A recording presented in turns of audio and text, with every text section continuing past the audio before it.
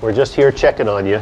Last year, Medicare paid $55 billion just for doctors and hospital bills during the last two months of patients' lives.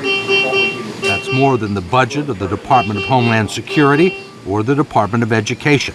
It's a perfect example of the costs that threaten to bankrupt us and how hard it's going to be to rein them in.